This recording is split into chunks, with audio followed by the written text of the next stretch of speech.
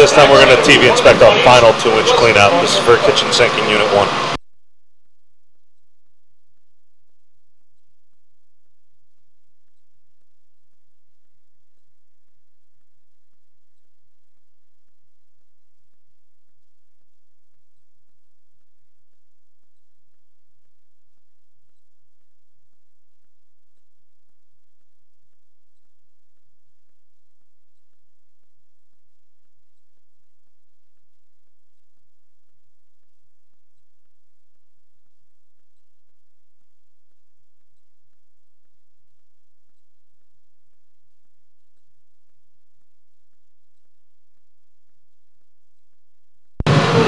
At this time, we're dropping into the three-inch main, and that will conclude our TV inspection. Again, this was Nick from Public Sewer.